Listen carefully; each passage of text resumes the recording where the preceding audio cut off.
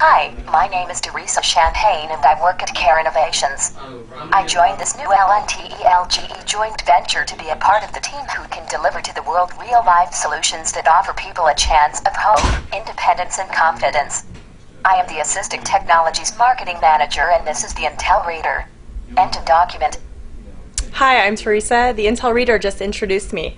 I took a picture of printed text and it read it aloud.